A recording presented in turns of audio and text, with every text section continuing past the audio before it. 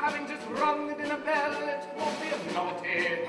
We mostly have seen them all before. Prepare the usual. You should be aware of what's in store. We serve them on the Baltic and the Oceanic, Olympic and majestic, and today's the same. There's nothing changed. Mr. Astor takes his toast dry. Mrs. Straus likes a grouse with the sauce on the side. And the Wideners love kidney pie. Bring it hot. If it's not, they'll be fit to be tied. They're accustomed to the best of all that money buys.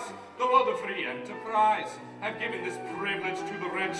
When they're idle, they're entitled to the luxury which we provide. That's never the source of our pride, which is why we're always down with our special form of cash. Put every hungry millionaire now all arrived.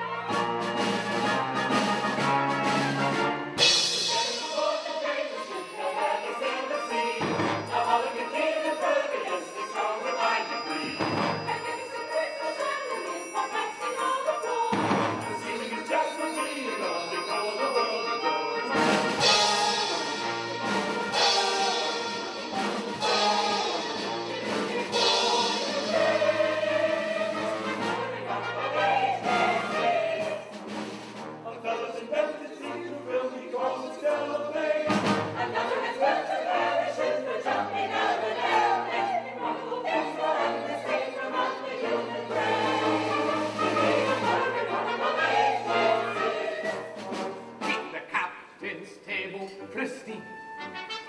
Here we seat the elite, whom we happily serve. Here they dine on fine French cuisine. It's the creme de la creme, exclusive reserve. It's the pleasure of the leisure class's greatest wits to sit where the captain sits when taking their dinner on the sea. Giving deference to the preferences is our chief art.